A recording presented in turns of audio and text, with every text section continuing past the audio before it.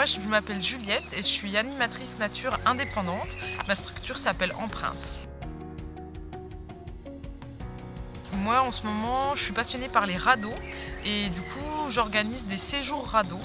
Euh, par exemple cet été au mois de juillet j'emmène pendant 6 jours euh, des enfants en colo du coup euh, où les enfants construisent les radeaux et après on est en itinérance sur la rivière voilà on se déplace à radeau. Hmm, les qualités d'un animateur environnement, nature, pour moi c'est la motivation et la grande euh, adaptabilité face au public, face à la météo, face aux circonstances euh, qui, se passent.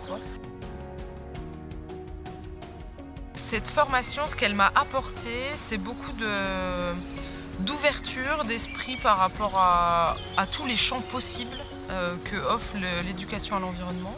elle m'a permis de faire plein de rencontres différentes, et de découvrir la Franche-Comté. C'est une formation qui est itinérante.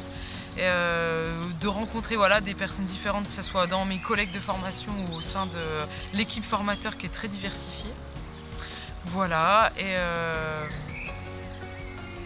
les anecdotes, j'essaie de chercher, mais je crois que j'ai pas d'anecdotes là précises.